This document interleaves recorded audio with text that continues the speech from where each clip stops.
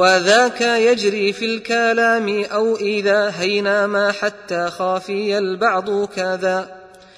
إن باعود السامع ثم يحتمل في الظاهر الكلمتان أو أقل.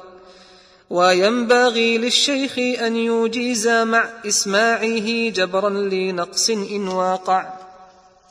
ونجل عتاب إلى اجتماع إيجازات مع السماع داعي.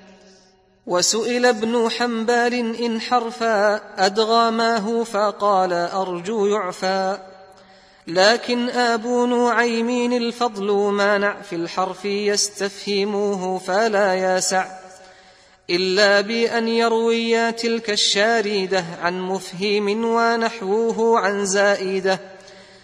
وخلف بن سالم قد قالنا إذ فاتاه حدث من حدثنا من قول سفيان وسفيان اكتفى بلفظ مستمل عن الممل اقتفى كذاك حماد بن زيد أفتى استفهيم الذي يليك حتى.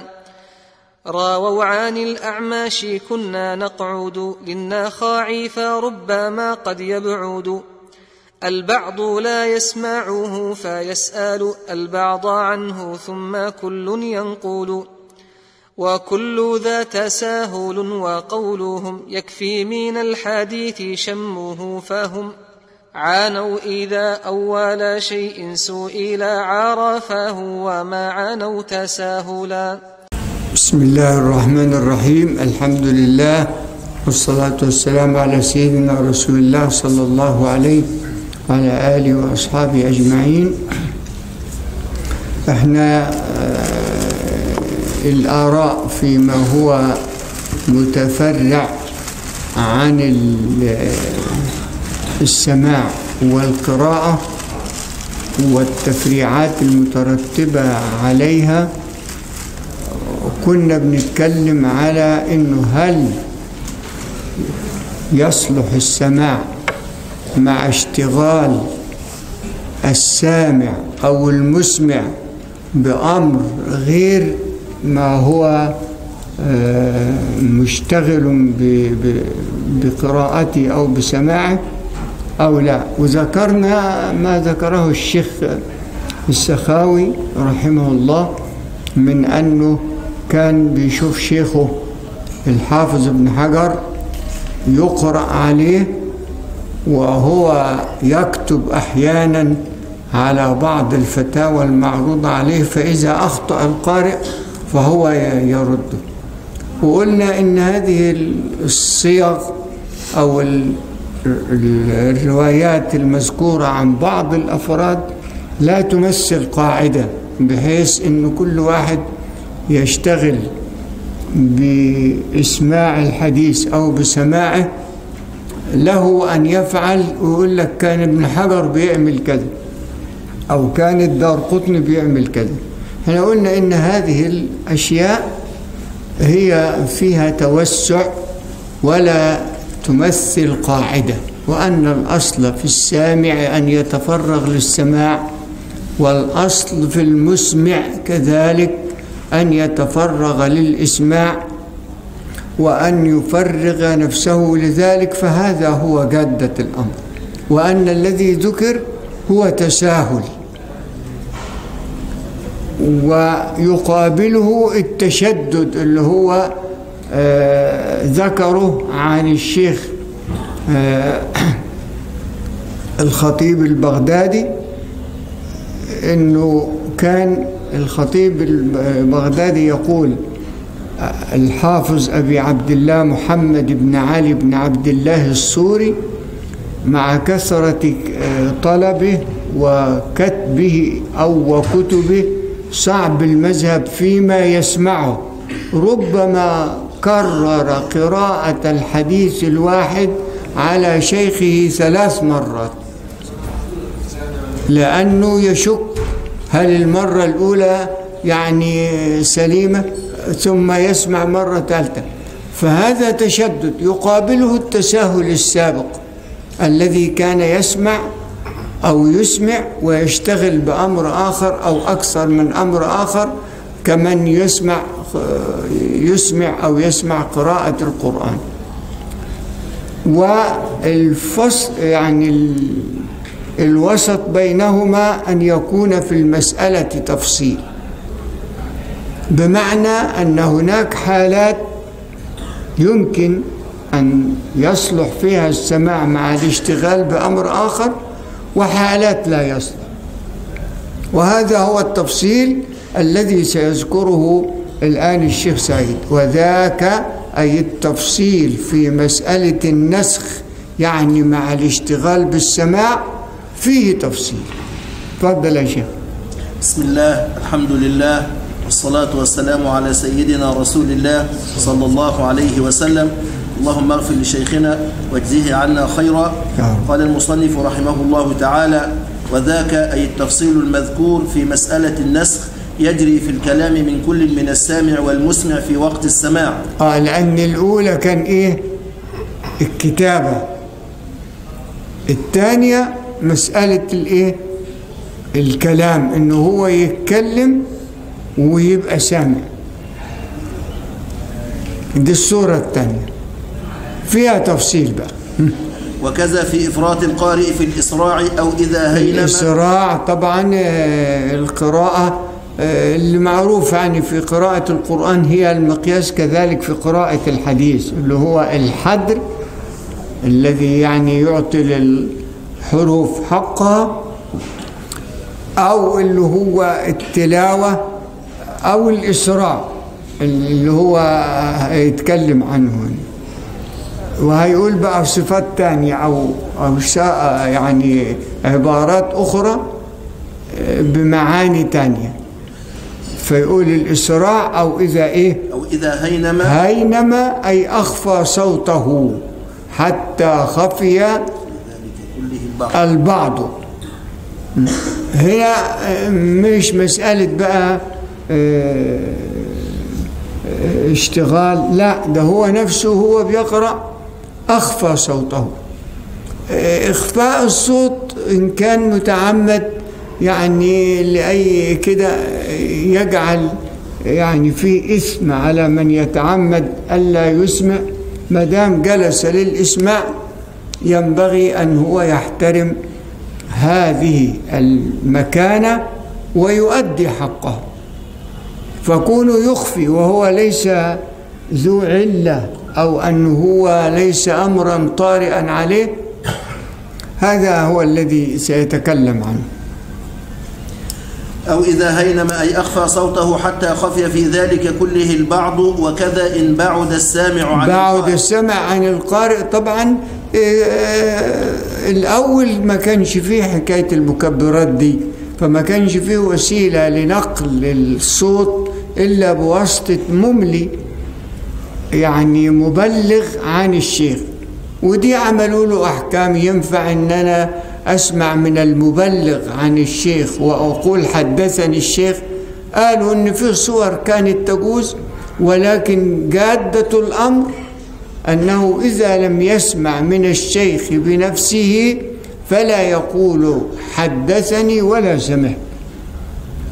وإنما يقول بإملاء فلان أو كذا يعني يشير إلى الواسطة التي حصلت بينه وبين المصدر الأصلي للإملاء. وكل هذه التفاصيل كما قلت لحضراتكم هي تفريعات بحثها المحدثون بناء على ما حصل من بعض العلماء متقدمين أو متأخرين وأيضا بناء على حرصهم على حصول التأكد من نقل الحديث بطريقة لا تكون فيها لا شك ولا احتمال. ولذلك بعد ما هيقول الصور دي كلها يقول نظرا لما في هذه الصور يعني من تجاوزات أو توسعات يطلب من كل من يسمع الحديث أنه في آخر الكتاب المقروء أو في آخر الإملاء يجيز. بحيث إذا لم يحصل له التحمل بالسماع يبقى حصل له التحمل بالإجازة والإجازة فيها اتصال الإسناد والفرق فقط في طريقة اتصال الإسناد. هل هو بالسماع أو بالقراءة أو بالإجازة فقالوا نتيجة لكل هذه التفاصيل اللي أجيزت واللي ثبتت عن بعض من كان يؤدي الحديث نجعل من سنة من يسمع أنه في نهاية الكتاب الذي يقرأه أو الإملاء أن يجيز الحاضرين. فإذا لم يتصل سندهم بالسماع اتصل بالإجازة وجعلوا هذا الأمر من ما يستحب أن يلتزمه المملي وهيجي صور الناس اللي هي يعني كانت تحرص على هذا لكي يؤدوا أمانة ما تحملوه. أو كان في سمعه أو المسمع بعد ثقل أو عرض نعاس خفيف بحيث يفوت سماع البعض. طبعا النعاس إحنا شايفينه مشاهد يعني فما هوش عايز وصف. لكن اللي هو آه، ثقل السمع إن شاء الله ربي عز وجل يمتعكم بأسماعكم. آه، ليس حاصلا إن شاء الله. ثم مع اعتماد معرفة النعاس الخفيف من الثقيل يكتبوه الفقهاء في مسألة ال- النوم اللي ينقض الوضوء ولا لا. فما فيش حسب الأقوال في كتب المذاهب اللي قرأتها يعني تحديد فاصل. إنما هما مثلا يقول بحيث لو ناديت عليه آه، يعني يرد من تاني مرة. إن هو يبقى نعسان فأنت تقول يا فلان فلا يرد عليك. إن ناديت مرة تانية ورد عليك يعتبر نوم خفيف. إن ناديت التالتة ولا ردش فده ما يعتبرش بقى نوم خفيف. ده يعني إيه؟ وصل إلى درجة الإيه؟ الرؤى. ثم مع اعتماد التفصيل في كل ما سلف يحتمل يعني يغتفر في الظاهر من صنيعهم في المسموع في من صنيعهم كله مستنتج مما روي عن بعض من اشتغل بأداء الحديث إلى غيره من مروياته. في المسموع الكلمتان إذا فاتتا أو أقل كالكلمة. آه يعني حكاية فوت الكلمات ممكن يعني يحصل كده فهل ده يدخل فيه التفاصيل دي ولا يعفى عنه؟ قال والله كلهم لما يسألوا هيجيبوا الكلام أهو إنه معفو عنه الكلمة والكلمتين على أساس إنه إيه؟ وهيجيبوا واحد تاني يقول نا. فقالوا له الله طب ما تقول حدثنا قال لا أنا ما سمعتش من حدثنا إلا النون. فكان لا يستجيز أن يقول حدثنا ما دام لم يسمع إلا النون فطبعا ده يضع ال- الإنسان بين صاحب الورع أو الذي يأخذ نفسه بالعزيمة في أمانة التبليغ عن النبي عليه الصلاة والسلام وبين من يبحث عن الرخص يعني والإيه والتسهيلات. وكل المقصد أن يصل ما ثبت عن الرسول صلى الله عليه وسلم لكل من هو راغب في هذا. وقد سئل أبو إسحاق الإسفرايني عن كلام السامع أو المسمع المقطع ده لغاية كلمة انتهى آه، ما شفتش أنا حد نسبه آه، آه، الإسفرايني له كتب وناس نقلت عنها. لكن المقطع ده لغاية ما تيجي كلمة انتهى آه، الشيخ حسين ده اللي هو محقق طبعا اللي معايا يقول لم أقف على قول الإسفرايين هذا. وأنا رجعت للشيخ عبد الكريم لقيته كذلك ما أحالوش ليه بقى؟ ما كانش المحروس اللي معاكم ده ظهر. ما كانش الكمبيوتر لسه ظهر. ولا أيضا اشتهر النوع المعرب منه لأنه هو أول ما طلع طلع فرنجي وبعد كده خد مرحلة التعريب.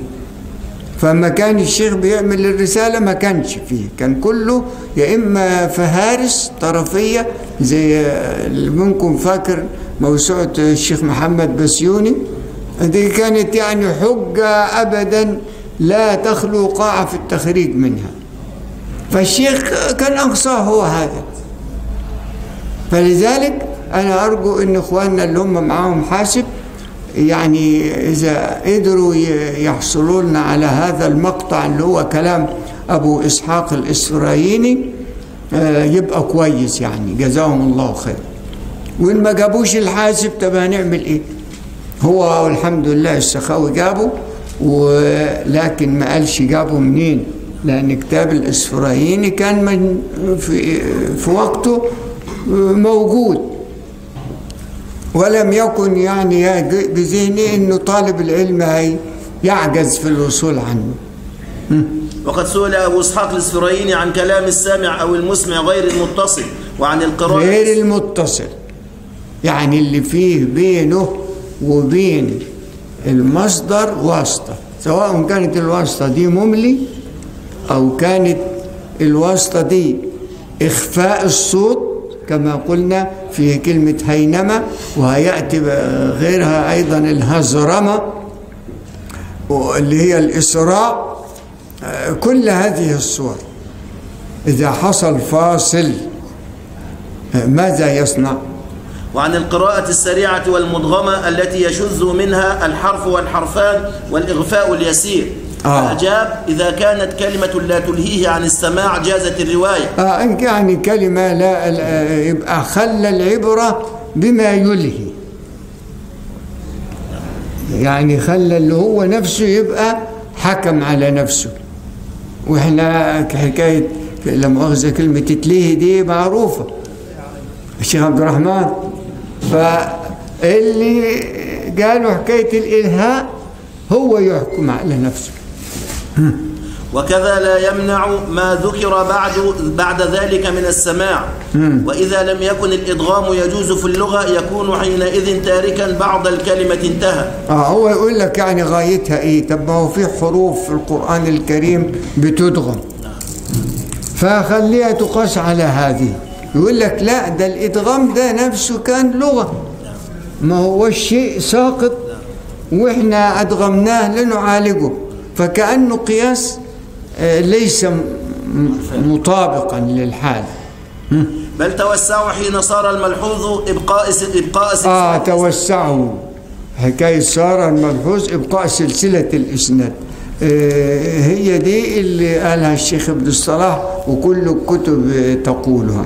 وهو آه ليس في كتب الحديث اللي هي في إيدينا حتى الآن حكاية إن سلسلة الإسناد ما بقتش مطلوبة. فيه ناس تقول احذفوا لنا الإسناد يعني الصراحه ما همش عايزين الإسناد. لكن يقول خلي السلسلة وتبقى مجرد أشخاص نرددها الشيخ الشاطبي في نفس الفترة اللي قال فيها ابن الصلاح سلسلة الإسناد دي قال المحدثون لم يكونوا يذكروا صفات القبول والرد إلا ليعمل بها.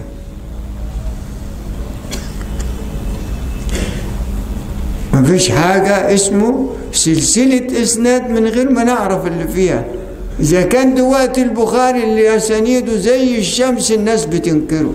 ما بال بقى لما نقول لهم دي سلسلة الإسناد المقصود منها دلوقتي كده. فما فيش في القواعد ما ذكره ابن الصلاح. طب هو ابن الصلاح ذكره ليه؟ قال عيش وقته وانت هتعرف. لكن من غير ما تعيش وقته تجيب انت التاريخ موجود الكتب اللي على السنين. وشوف كان بيحصل للعالم الإسلامي وثرواته من الكتب من الضياع وكذلك من ال- الانشغال ومن الكوارث ومن الإحراق. دلوقتي في كتب يعني هو قد كده الكتاب اللي جابوا لي بس مانيش فاضي. الحرائق التي حصلت لكتب الإسلام. ولسه لما تقرأ أنت ترجمة الخطيب البغدادي له هو كتاب كاتبه مطبوع التي حملها من بغداد إلى الشام لما راح الشام. فالسؤال فين الكتب دي؟ في ترجمته في سير في تاريخ الإسلام وفي السير أنها حرقت بعد موته بخمسين سنة.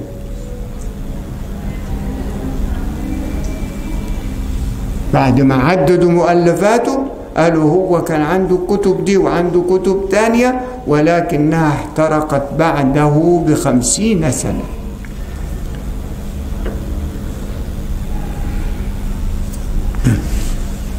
بل توسعوا فحكاية توسع سلسلة الإسناد دي نفس ابن الصلاح لما جاي يملي صاحب المقولة دي صحح وضعف إسناده.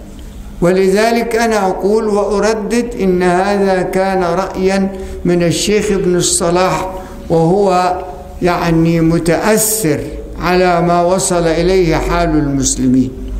الشيخ ابن الأسير الجزري لما جاب كتاب رزين العبدري بأسانيده والنسخة في إيديه بأسانيده يقول أنا حذفت الأسانيد آه، خدمة للناس.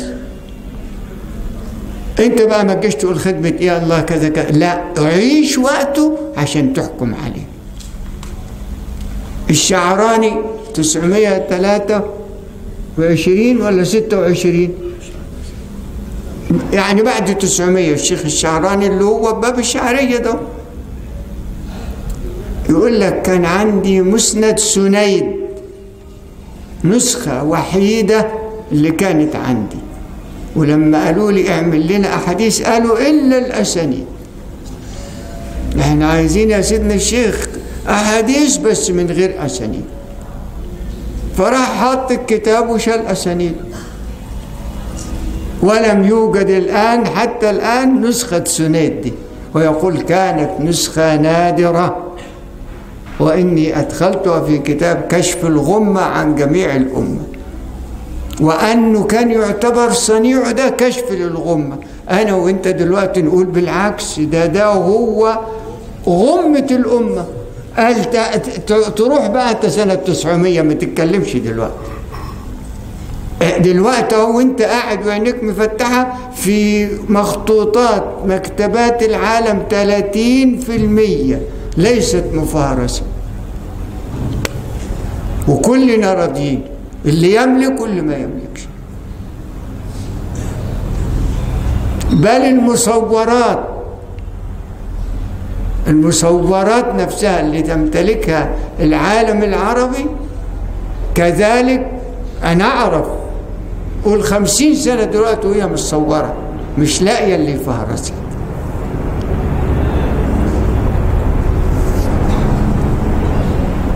فما تعيبش على القدام وانت نفسك شايل ال ال ال الكارثة دلوقتي. اتفضل يا مولانا. بل توسعوا حين صار الملحوظ سلسلة الإسلام. فالملحوظ ده اللي قاله ابن الصلاح هو نفسه غيره. لما عمل إملاءات بقى يسمع. يبقى السلسلة دي اللي بتس... بتحكم انت عليها بأنها حسنة أو صحيحة كالسلسلة المقصود بقائها ولا رجالها معلومين ودخلوا تحت طائلة الجرح والتعديل. منشور الكتاب الكتيب ده اللي هو في أماليه. هو كتيب صغير والسبب اللي خلاه كان يضيع إن هو كان محطوط مع مخطوطة تانية في مكتبة الأزهرية ده وموجود لحد دلوقتي. فهم بيقلبوا المجاميع دي لقوا الأمال ابن الصلاح دي فاتنشر الكتاب. وبرضه اللي سواق اللي عمله ما هوش مصري. ولا هوش إيه؟ من ال- المهتمين بالتحقيق. لكن جزاه الله خير أنه أخرجه للناس. فأروه أهو كتاب موجود. شوفوا ابن الصلاح بيروي بسنده ويحكم. طب أمال ليه بتقول كده؟ قال والله أنا من ضيقتي من اللي شفته وأنا يعني متضايق من حال المسلمين قلت كده. أنا شخصيا أرى أن هذا الكلام اللي قاله ابن الصلاح وتوبع عليه هي كانت نفسة مصدور مما وصل إليه حال تحمل الحديث وأدائه في أيامه لكن السلف السلف ميت بعدين. لا قبليه 500 وكم؟ آه يجرح ويعدل في شيوخه. ابن الجوزي. الستمية وكذا جرح الجرح والتعديل. كذلك كل الذين ترجموا السخاوي في الضوء اللامع. الشيخ ابن حجر رحمة الله عليه الذهبي كلهم تكلموا في الرجال. فأي كلام تقول أنت الملحوظ بقاء السلسلة. ولذلك لابد لطالب العلم أن يستصحب كلمة الشاطبي التي فيه الاعتصام أن المحدثين لم يضعوا شروط الجرح والتعديل إلا ليؤخذ به. شيء تاني لا. كون جاء عليهم وقت حصل لهم اللي حصل لهم ولا مش ممكن إحنا نستوعبه. دي لا تكون قاعدة ولا تلغي القواعد. تفضل يا مولانا. لأكثر من ذلك بحيث كان يكتب السماع عند المزي وبحضرته لمن يكون بعيدا عن القارئ وكذا للناعس والمتحدث والصبي- والصبيان الذين لا ينضبط أحدهم بل يلعبون غالبا ولا يشتغلون بمجرد السماع حكاه ابن كثير. لكن هل كان كل اللي حاضرين عيال وصبيان ولا هم دول واحد واثنين وعشرة من أصل القضية. نعم. هل نجعل الشواذ في الموضوع هو القاعدة؟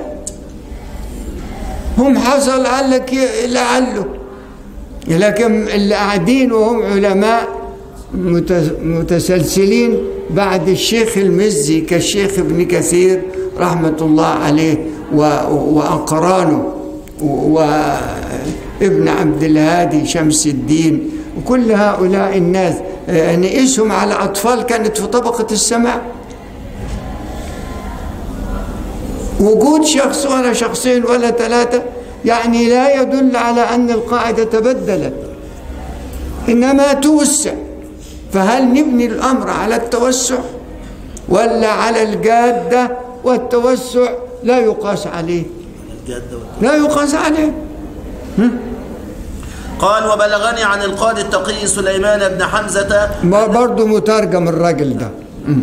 أنه زجر في مجلسه الصبيان عن اللعب فقال لا تزجروهم فإنا إنما سمعنا مثلهم. أيوه ما في ما فيش إشكال إن هو ده واحد قال كده. لكن هل الكل كان هكذا؟ حتى نعمل قاعدة عامة؟ دي حالات فردية لا يقاس عليها القاعدة. وكذا حكي عن ابن المحب الحافظ التسامح برضه ابن المحب مترجم عندك يا مولانا. وأنه هو متوفى 728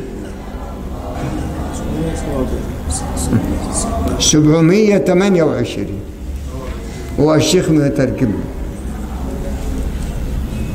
لا مش مترجم بس هو عبد الله بن أحمد الس- السعدي المقدسي الصالحي 737 37 ويقول كذا كنا حكي عنه التسامح. والتسامح يبقى ما خرج عن دائرة الإيه؟ الأصل.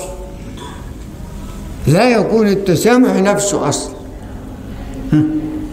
ويقول كذا كنا صغارا نسمع فربما هل كل سماع الشيخ ابن المحب كان هو بالطريقة دي؟ ولا إنه سمع مرة بهذه الطريقة أو مرتين أو ثلاثة؟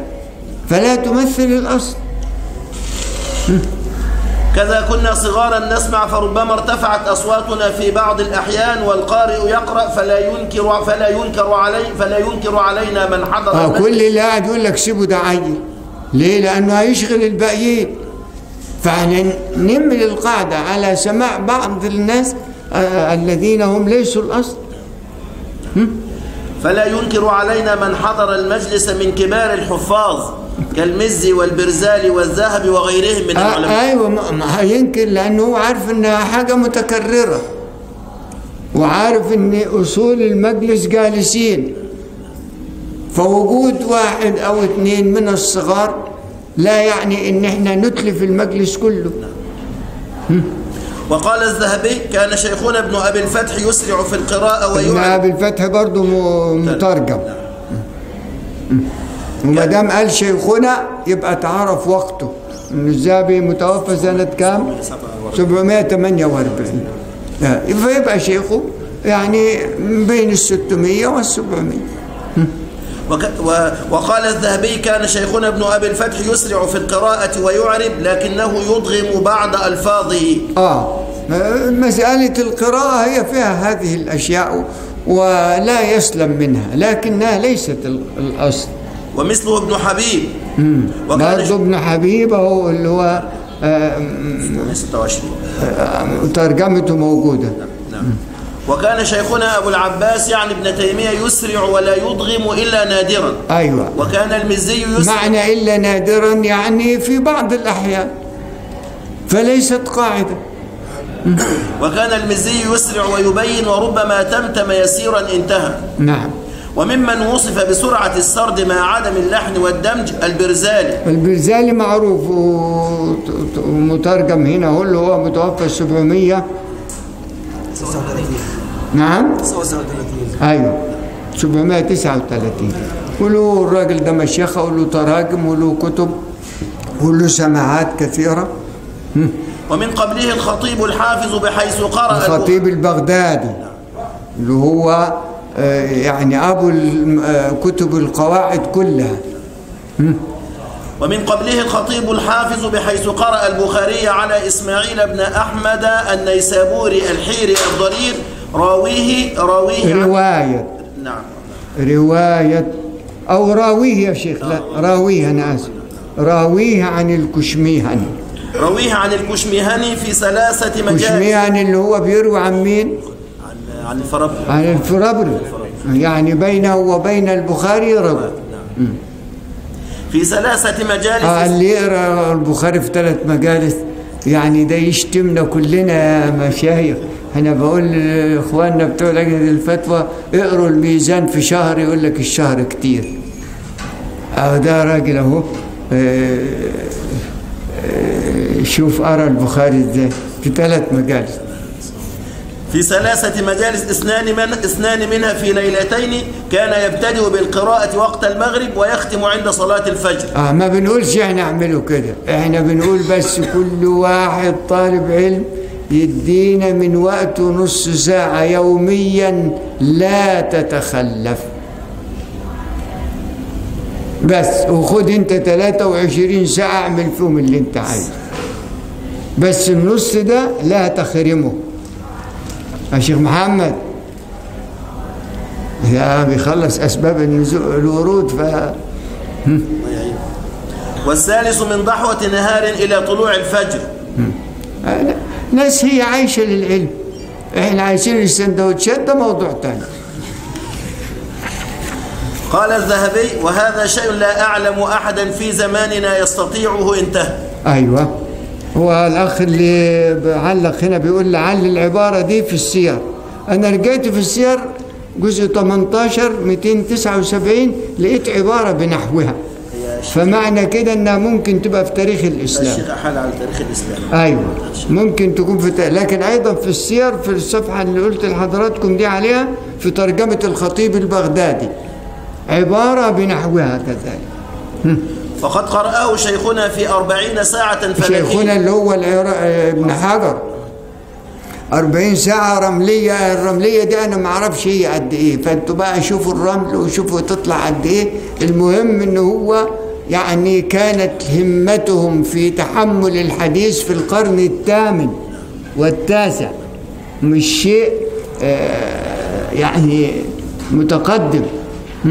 وصحيح مسلم في أربعة مجالس سوى الختم من نحو يومين وشيء.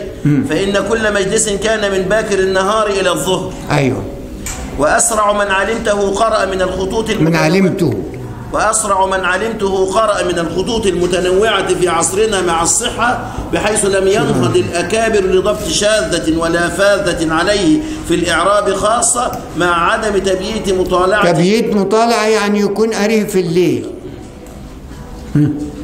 شيخنا ابن خ... شيخنا ابن خضر. أيوة الكلام ده كلام إيه؟ السخاوة ولكن ما كان يخلو من هذرمة الهذرمة اللي هي سرعة القراءة. وأسرع ما وقع لي اتفاقا أني قرأت في جلسة نحو من خمس ساعات من مواقيت الصلاة في صحيح البخاري إلى الصيام. آه يعني من أوله إلى الصيام. وينبغي وفي ذلك فليتنافس المتنافسون يا دكتور سام وينبغي على وجه الاستحباب حيث لم ينفك الأمر غالبا عن أحد أما يقول ينبغي يبقى العبارة لا تعطي وجوب ولا تعطي فرض ولا تعطي إلا الاستحباب. يعني مقصود العبارة. وينبغي على وجه الاستحباب حيث لم ينفك الأمر غالبا عن غالبا عن أحد أمور. إما خلل في الإعراب أو في الرجال أو هذرمة أو هينمة أو كلام يسير أو نعاس خفيف أو بعد أو غير ذلك. هذه الأسباب هي اللي هي يعني يتسامح فيها ولكنها لا تمثل أصل القضية. أو غير ذلك للشيخ المسمع أن يجيز للسامعين رواية الكتاب أو الجزء أو الحديث؟ أو اللي إحنا بنقوله إنه قطعا للإشكالات والتجاوزات والتساهلات بعد ما تنهي الكتاب الذي تقرأه على السامعين. اعطهم إجازة أجزتكم لكي يتصل سندهم إن لم يكن بالسماع فيكون بالإجازة أو الحديث الذي رواه لهم مع إسماعه لهم جبرا لنقص يصحب السماع إن يقع بسبب شيء مما ذكر. مما يدل على أن ال- الاحتياط ما زال في منهج المحدثين. قالوا إحنا أجزنا كذا وأجزنا كذا وأجزنا كذا وأجزنا كذا لكن نقطة الاحتياط أن تعطي لكل من حصل على هذه التجاوزات إجازة يتصل بها سنده. هيبقى غاية الأمر أنه هو عبر بعبارة في التحمل خلاف ما تحمل. لكن سنده متصل. وما أحسن قول ابن الصلاح فيما وجد بخطه آه حكاية وجد بخطه دي؟ كتاب بنت الشاطئ الله عليها رحمة الله اللي هي آه، طبعة المقدمة. آه، ناقلين الباحثين اللي كانوا بيساعدوها. حواشي كتيرة منسوبة لابن الصلاح ليست في مصادر غيرها. فاللي عنده وقت أو يعني يكون غاوي فلقة يقلب ال- الطبعة دي تاني. لأنها لم تطبع إلا هذه الطبعة. ومنسوبة هذه التعليقات إنها كانت بهوامش نسخة مقدمة ابن الصلاح التي طبعوا عليها الكتاب.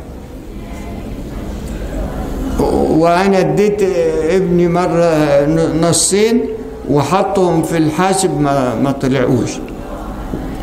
لا أدري هل لأن الذي أدخل المقدمة لم يدخل معها هذه النصوص الله أعلم. لكن هي نصوص أحيانا تكون مطولة. يعني تكون مثلا 30 سطر و25 سطر ويقول لك في هذه القضية مبحثان ثم يذكر. وأنه هو منقول عن ابن الصلاح. وما أحسن قول ابن الصلاح فيما وجد بخطه لمن سمع منه صحيح البخاري وأجزت له روايته, روايته عني مخصصا منه بالإجازة ما زل عن السمع لغفلة أو سقط عند السماع بسبب من الأسباب. آه شوف بقى إزاي لأنه هو مع ما ذكره من التجويزات أراد أن يضع نقطة الاحتياط. وكذا كان ابن رافع يتلفظ ابن بالإجازة رافع معروف برضو ده له, له ترجمة وكده من الشيوخ له وفيات وكان ابن رافع يتلفظ بالإجازة بعد السماع قائلا أجزت لكم روايته عني سماعا؟ وإجازة لمن لما خالف أصل السماع؟ لما خالف أصل السماع ده عشان النسخ. لأنه قد تكون نسخة السامع غير مقابلة بنسخة الإيه؟ الشيخ. فهو لكي يحفظ لنسخة تلميذه. مكانتها ذكر هذا. إنني حتى أجزت ما هو مخالف لنسختي. ودي تعتبر يعني من أريحية العالم الذي يحرص على أن يكون ما أدى ليس فيه مغمز حتى لو مخالف لأصل الشيخ لأن الكتب تقول لابد توافق. فهو قال حتى اللي خالف أنا أعطيته إجازة بحيث لا تضيع عليه هذه النسخة وإن خالفت نسختي. طبعا ما كانش لسه الطباعة جات. وقال مفتي قرطبة وعالمها ابن عتاب ابن بمهمة عتاب برضه مترجم هو هو الشيخ السخاوي مترجم له. 462 بمهملة ثم فوقانية مشددة هو أبو عبد الله محمد الجزامي المتوفى في صفر سنة اثنتين وستين وأربعمائة فيما رويناه من طريق ولده أبي محمد عبد الرحمن وأبي علي الغساني عنه ما معناه. آه شوف بقى إزاي. ما معناه. بس حكاية ما معناه دي مش كتير مش كتير بيقولوها. لكن ما نقل ناقل فيما وصل إلينا عن غيره إلا ووجدنا في نقله بعض الاختلافات. ممكن الاختلافات دي مرجعها لاختلاف النسخ ومنها هذا يعني التورع الذي ذكره هذا الرجل إني لا أنقل نص ما هو مسموع ولكن ما معناه. والذي أقول أن إنه لا غنى بالقصر الذي أقول ده السخاوة هو والذي أقول إنه لا غنى بالقصر للمناسبة لطالب العلم يعني في زمنه فما بعده عن إجازة بذاك الديوان أو الحديث مع السماع له تقرن به لجواز السهو أو الغفلة أو الاشتباه على الطالب والشيخ معه أو على أحدهما. شو- شوف هو ده الاحتياط. يقول لك الشيخ أحمد قاعد بقاله ثلاث أسابيع يقول في التوسعات. فاحنا مش التوسعات هي الأصل ولكن هي ما بعد الأصل. ومع ذلك وضع المحدثون ضابط يمكن أن يسلم منه أو بواسطته كل تساهل. وكلامه إلى الوجوب أقرب وهو الظاهر من حاله بقى كلامه للوجوب أقرب ليه؟ لأنه ما صرحش. يا مولانا بت- بتوع الإفتاء. ما هوش قادر يقول وقال واجبا لأنه ما صرحش. طب أمال هو قال الوجوب إيه؟ قال يعني من سياق كلامه ومعروف إن فيه سياق الكلام أحيانا يستفاد منه. فحوى الخطاب آه كده. شوف بقى الشيخ إبراهيم اصله فحوى الخطاب. تفضل مولانا. وكلامه إلى الوجوب أقرب وهو الظاهر من حاله فإنه كان كثير الاحتياط والورع حتى إنه لكون شوف القرائن أهي. ان هم عرفوا عن شأن هذا الرجل وإن توسع في قوله لكنه كان معروفا بالالتزام فلذلك لا ينتظر منه إلا أن يقول ما هو مفيد. فإنه كان كثير الاحتياط والورع حتى إنه لك- لكون مدار الفتوى عليه كان يخاف عاقبتها. مدار الفتوى عليه كان يخاف إيه؟ عاقبتها. عاقبة تقول الله هي لها عاقبة. قال امال إيه يا عم؟ امال هم كانوا بيهربوا منها ليه؟ لها عاقبة. المثل يقول لك حطها في رقبة عالم واطلع سالم هم ما يفتكروناش كلهم إلا ساعة الطلقات اللي هي بتقع على الستات طب نوع- نيجي نسأله تجد بقى العجب العجب اتفضل يا مولانا ويظهر مهابتها حتى كان يقول من يحسدني فيما جع فيها جعله الله يحسدني. ليه؟ لأن من زمان لما تقرأ الكتب تلاقي إن الحسد في البني آدم. ولذلك القرآن يقول أم يحسدون الناس على ما آتاهم الله من فضله. ده لما كان سيدنا محمد لسه موجود. فلما يقول لك هنا الحاسدين أنت ما تقولش. ليه؟ لأن ما فيش عصمة المعصوم من عصمه الله. تفضل من يحسدني في من يحسدني فيها جعله الله مفتيا وددت أني أنجو منها كفافا. ثم على كاتب الطبقة استحبابا التنبيه على ما وقع كاتب الطبقة اللي هو بيكتب طبعا دلوقتي إحنا مش في مجلس سماع. الشيخ أيمن لما بيقعد في القراءة اللي إحنا بنقرأها الإسنادية بيكتب.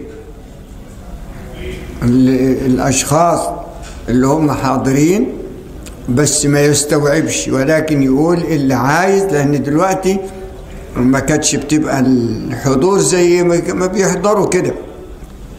فيقول والله بدل ما نكتب إحنا الطبقة ان حضر فلان وفلان اللي سمع يجي يدينا اسمه وإحنا ده اللي بينوب عن الطبقة. لكن أنت لما تجيب أنا قلت مرة قبل كده مخطوطات مسند الإمام أحمد نسخة الظاهرية الشيخ صبري عارفها فيها طبقات سماع ممكن أن تخرج مجلد كامل بتراجم ناس لا نجد لهم تراجم في كتبنا الحالية. لأن أصلا الكتب دي أخذت من هذه ال- المصادر.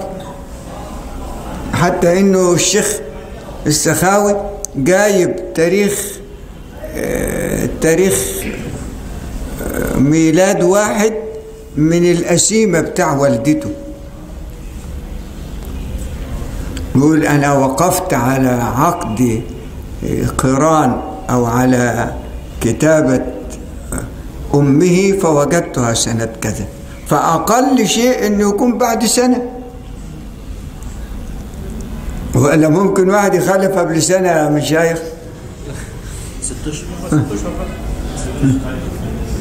ثم ثم على كاتب الطبقة استحبابا التنبيه على ما وقع من إجازة المسمع فيها ويقال إن أول من كتبها في الطباق الحافظ المتقن تقي الدين أبو الطاهر.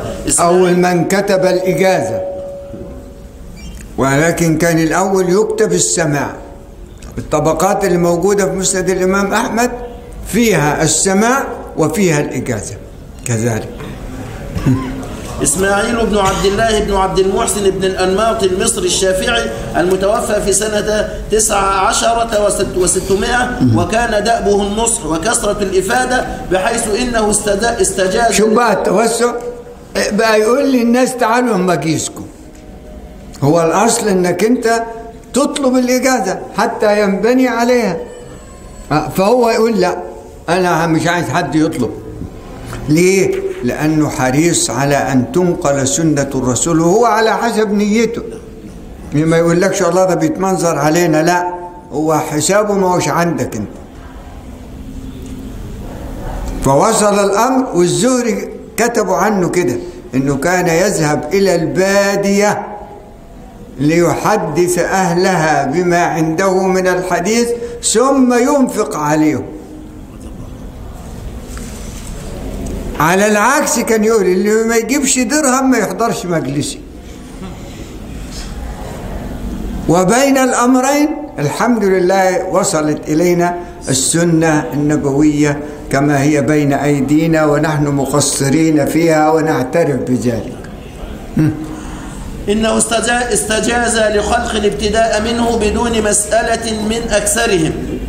وتبعه في هذه السنة الحسنة. أعني كتابة الإجازة في الطباق من بعد من بعد؟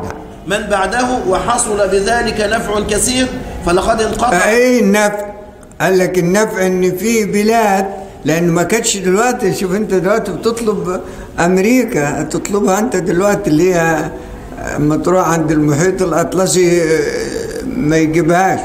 بتطلبها بالمحروس اللي معاك ده. ما كانش الأول كده. ولو كنا اتكلمنا عن سؤال الملكين آه، ساعة ما كانش لسه ده آه، التليفون كانوا يختلفون أن يكتبوا اللاسلكية والتي لا سلك لها. هل يكتبوا الإذاعة اللاسلكية ولا الإذاعة التي لا سلك لها؟ ما فيش دلوقتي خلاص تغير. وحصل بذلك نفع كثير فلقد انقطعت بسبب إهمال ذلك وتركه ببعض البلاد رواية بعض الكتب. آه الشيخ أهو مات وهو اللي كان معاه سند الكتاب. ولذلك في حلية الأولياء إن كانوا بيدفنوا واحد من من أهل الرواية. فواحد واقف على شفير اللحم ويقول الظاهر لسفيان الثوري أو كده يا أبا محمد هل كتبت غرائب فلان؟ طب يفرض ما كتبش غرائبه مش هندفنه؟ لأنه ندفن انتهينا. ما فيش وسيلة تانية. فهذه هي التي كتبت في خلالها السنة. إن كان يموت وهو النبي عليه الصلاة والسلام قايل يذهب العلم بذهاب إيه؟ العلماء مش بذهاب الكتابة. لا يعني الكتابة موجودة ونتحايل. نتحايل إحنا بندرس أهو. ما تقيسوش على نفسكم أنتوا. بن بنتحايل على اللي بندرسه إن تعالوا وكده. تلاقي في القاعة 300 م- متأيدين واللي بيحضروا 50 مفيش غيره فلقد انقطعت بسبب إهمال ذلك وتركه ببعض البلاد رواية بعض الكتب لكون راويها كان قد فاته ذلك. في الوقت ده اللي هو عمل فيه أبو داود مفردات الأنصار الأمصار. يقول لك الحديث ده مش موجود إلا عند أهل مكة. وفعلا ما يتجدش إلا عند أهل مكة. الوقت أبدا خلاص يعني راحت. بس اللي هو مكتوب آخر أكلته الأرض. ولم يوجد في الطبقة إجازة المسمع للسامعين فما أمكن قراءة ذلك الفوت عليه بالإجازة لعدم تحققها. آه لأن مش عارفين. كما اتفق في أبي الحسن علي بن نصر الله بن الصواف الشاطبي في السنن الصغرى للنسائي لم يأخذوا عنه سوى مسموعه منه, منه. ده ده في المغرب الكلام ده في المغرب. في المغاربة عندهم أحاديث من سنن النساء الكبرى ليست في نسخ المشارقة ليه؟ قال لأن اللي سمع ساعة ما كانت النسخة موجودة وكده راح المغرب وبلغها. وبعد ما بلغها اتكل على الله. والمشارقة في العادة ما يرحلوش للمغرب. للتلقي. فلذلك بقيت هذه الأحاديث آه، نسخة أحد الدور اللي نشرتها فيها خمسين حديث ليست في النسخ التي طبعت عليها سنن النساء الكبرى الطبعة اللي هي طبعة الرسالة. وبعض الكتب من كتب النساء. وكان السبب إنه ما كانش واحد يمتلك آه، قوة شرائية نسخة النساء كلها. وأتمنى ان تشوفوا أنتوا في وقت من الأوقات النسخة اللي هي أول ما عرف من سنن النساء الكبرى. فهي نسخة فيها ستين سطر في الصفحة. بحيث إن هي كلها ما عدا بعض الكتب تقريبا 163 لوحة أو كده. بس فيها إيه؟ 60 سطر فضلة خيرك. وحرف إيه؟ دقيق جدا. والرجل اللي له ترجمة آه، وكان يمشي في مصر العتيقة في سيدي عقبة وهو في كمه مئة ألف حديث. لأن كانت كل ملزمة فيها ألف. ومعه مئة ملزمة. وحاططها في كمه زمان كانوا يعملوا الترزي دلوقتي لو رحت له قلت له كده هيقول لك أنت مجنون. فكان من عادة أهل العلم أن يكون للثوب كما واسعا مفيش بقى شنطة وتحطها على ظهرك وكلام من ده. كم واسع للكتب. وواحد ضيق زي كده للحركة. فكان يمشي في شوارع مصر مصر كانت هي مصر ال- القديمة دي. وفي كمه مئة ألف حديث راحوا فين المئة ألف دول؟ أكثر ما لدينا الآن الجامع الكبير للسيوطي وهو ستة وأربعين ألف وخمسمية. يبقى نص الرسمال راح. ولحد الآن إحنا قاعدين اهو. مفيش حد فكر انه يجمع المصادر اللي السيوطي كتب منها كتابه. هو كتب اتنين كتاب قال اني كنت قريت دول وكتبت كده. لكن في غير ال 82 دول وكل اللي حققوا الجامع الكبير قلنا لهم اعملوا معروف بس قولوا لنا الكتب اللي هو جمع منها. يسموها موارد. وأول من كتب رسالة عن الموارد في مصر في مصر في كلية الآداب هو الدكتور أكرم العمري العراقي ما عملهاش مصري ليه؟ قال من غير ليه؟ وعمل موارد الخطيب في تاريخ بغداد وكانت الرسالة في وقتها فتحا بقى كتب النساء ضعفاء الكروب أه، وانت عمل بعيد أول ناس طبعت تاريخ بغداد هي مصر مطبعة السعادة ربنا يسعدكم. عند محافظة القاهرة بباب الخل لكن الكتاب رائد مسوس. يتقري ليه؟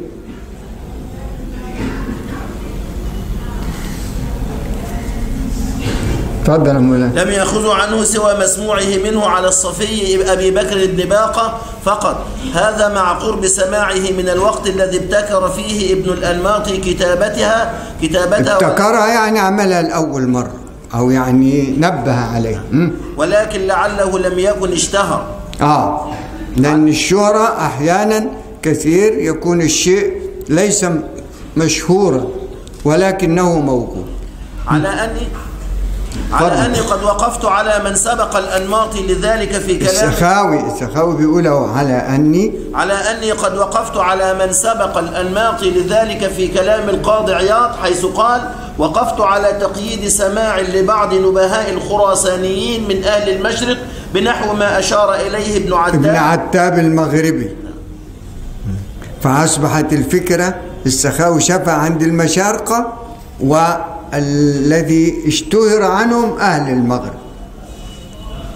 فقال سمع هذا الجزء فلان وفلان على الشيخ أبي الفضل عبد العزيز بن إسماعيل البخاري وأجاز ما أغفل وصحف ولم يصغى إليه أن يروي عنه على الصحة. آه فشوف بقى ده اللي هو حريص على إن يعني تقوم فائدة التحمل. قال حتى اللي غلط اللي كده أنا أجزته لكي تصح روايته.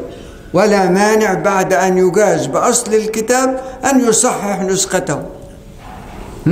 قال القاضي وهذا منزل القاضي اللي هو عياض وكتابه الإلماع فضلة خيركم هو جايب منه السخاوة ومفليه من الكتب دي. الكلام التفاصيل دي كتير منها في ثلاث كتب.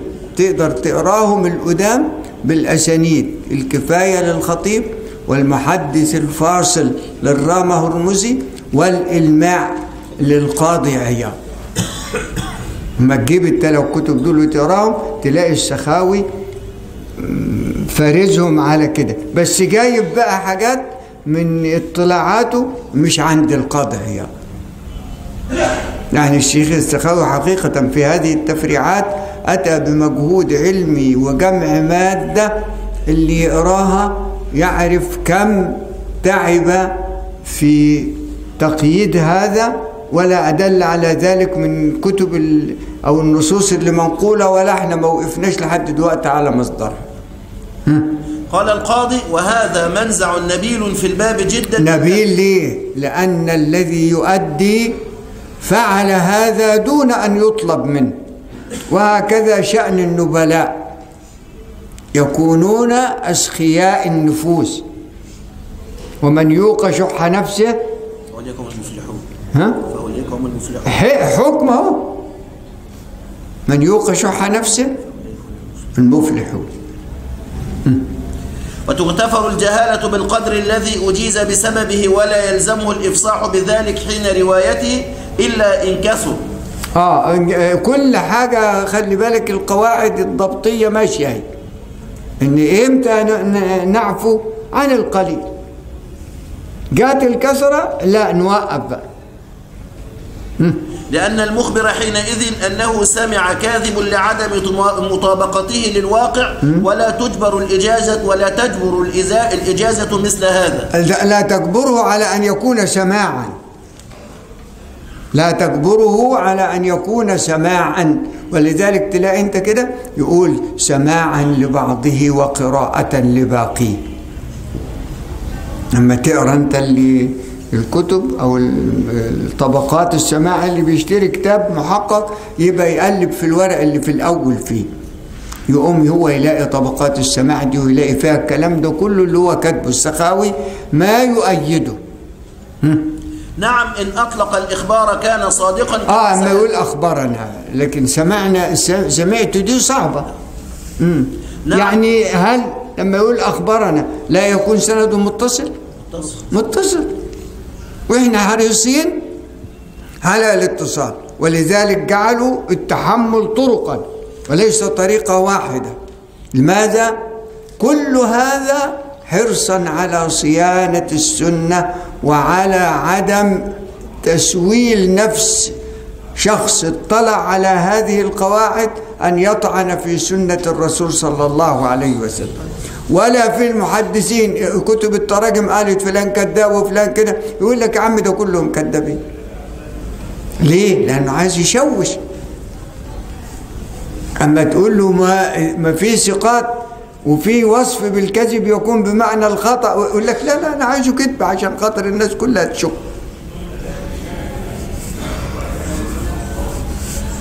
لكن الذي حفظ الكتاب إن شاء الله بحفظ الكتاب ستحفظ السنة. نعم إن أطلق الإخبار كان صادقا كما سيأتي في أواخر ثالث أقسام التحمل. أيوة ولذلك أنت بعد التفريعات دي كلها الطرق اللي جاية تبقى تربط بينها وبين هذه. أما تيجي تقرأ ما تغفلش عما سبق لأنها هي جزئيات يكمل بعضها بعضا. وإنما كره إطلاقه في الإجازة كره إطلاقه اللي هو إيه؟ إطلاق السماع. لمخالفته العادة أو لإيقاع لإيقاعه تهمة إذا علم أنه لم يسمع أصلا. أيوة. وذلك معدوم هنا لا سيما إذا كان السماع مثبتا بغير خطه لانتفاء الريبة عنه بكل وجه أشار إليه ابن دقيق العيد. في الاقتراع تجيب الاقتراع دوت هتلاقي الكلام.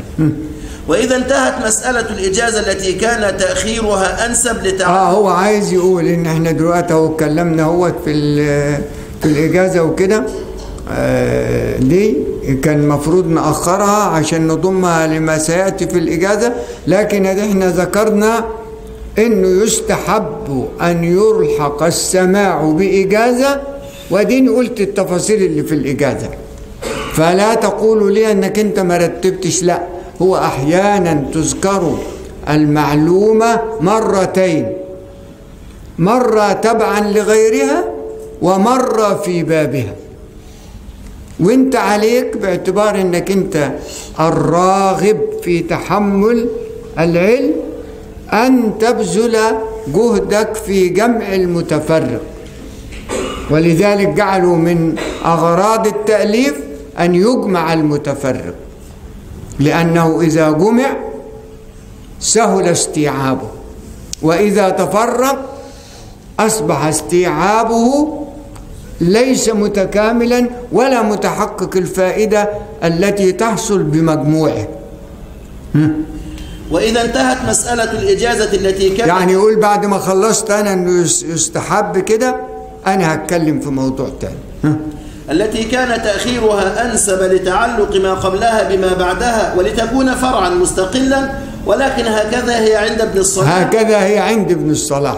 إذا لما أنت تلاقي موضوعات هنا كانت تتقدم أو تتأخر يقول لك أنا مش مش مني أنا. أنا بشرح كتاب شخص سبقني وليس من حقي أن أغير في ترتيبه.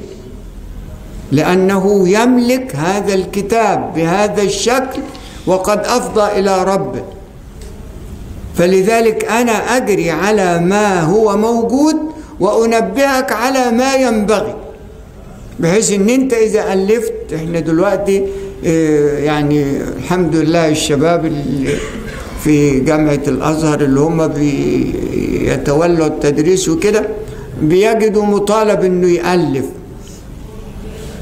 فيقول له إذا ألفت أنت بقى اعمل صورة محسنة. اقعد اعصر دماغك كده شوية واجمع الفوائد التي رأيتها متقدمة أو متأخرة وقدم للذين سيأتوا بعدك أو لطلابك لأن دول أمانة. أنت بتشكل عقليتهم. فإذا أخرجت عقليتهم كما خرجت أنت فكأنك يعني مجرد ترس في مكنة. لكن إذا حاولت أن تجمع لهم ما تفرق وتصب في ذاكرتهم فلا شك أن يكونوا هم أفضل منك. لأن هذه أمانة تستطيع أن توفي فيها وتستطيع أن تغش فيها. ولكن هكذا هي عند ابن الصلاح. فاعلم أنه قد تقدم اغتفار الكلمة والكلمتين يعني سواء أخلتا أو إحداهما بفهم الباقي أم لا لأن فهم المعنى لا يشترط وسواء كان يعرفها أم لا. فهم المعنى مش معناه فهم المعنى خالص لا يشترط. لا يعني فهم الفقه الذي في النص. لأن لو اشترطنا فقه النص للسماع سيخرج الأطفال وسيخرج كذا. لا الشرط أن يفهم مثلا إنك أنت بتقول له فلان صح فلان خطأ. لكن كون كلمة صح تفيد الوجوب أو تفيد المنع أو تفيد كده هذه مرحلة تالية بعد السماع. إن وقفنا عليها السماع سنعطل ما هو ممكن عبل ما نجيب واحد ونفهمه يكون اللي أصلا حامل رواية الكتاب مات. فأنت هتجيبه منين بقى؟ ولذلك قالوا إذا كتبت فقمش. يعني اجمع كل ما تجده. وإذا بعد كده ألفت ففتش. يعني نقي ما كتبت وقدم للناس ما تظن. أنه الصواب. وأيضا لا ليس لأحد دعوى العصمة من الخطأ. وهنا بنأكد أهو لأن في واحد جايب لي أخطاء بقالها سنة. أتريه هو بتوصله الشرايط دي بعد قيام الساعة. وهو راجل كبير سن وبعت لي الحاجات دي هي فين يا فلان؟ قلت له يا عمي إحنا عاملين حكاية إن أنا إذا غلطت في المحاضرة يجي واحد تاني أسبوع يقول يا شيخ كذا كذا. أنا بجيع أقول الكلمة الفلانية أو المعلومة الفلانية أنا أخطأت فيها وصوبني فيها فلان وهذا لا يضيرنا في شيء. وكان درست أنا في السعودية فكان أكثر من يعمل هذه الحكاية إخواننا الجزائريين. فهم أربعة يكتبوا ويرجعوا يجمعوا الكلام ويصوغوه صياغة واحدة. فيجي يقول يا شيخ أنت قلت امبارح كذا كذا. فأقول له يا ابني يقول لا اعترف يا شيخ اعترف. آه والله أقول له خلاص يا سيدي أنا غلطان. يا سلام يتبسط قوي لما أقول له إن أنا غلطان. ومنهم ناس بتقابلني دلوقتي كبار يعني بقى مهرجة. فأقول له أنت فاكر يا فلان لما قال والله يا شيخ إني ندعو لك.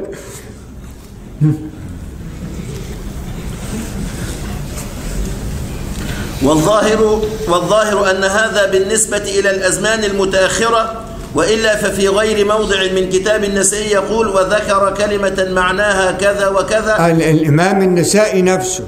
ليه؟ لأن الكلمة دي هو كان له مشكلة عارفين أنتوا في مصر في السماع فكان إيه؟ يقول الكلمة دي لأنه ما كنتش بحضر المجلس فيعني ما جاتش في دماغي مظبوط. فيصريح ليه؟ لأنه مش هو. يعني الطالب مش هو اللي هيحاسبك. لا انت لك عداد تاني. وهو العداد ده اللي انت هتبقى فيه التصفيات كلها. ها؟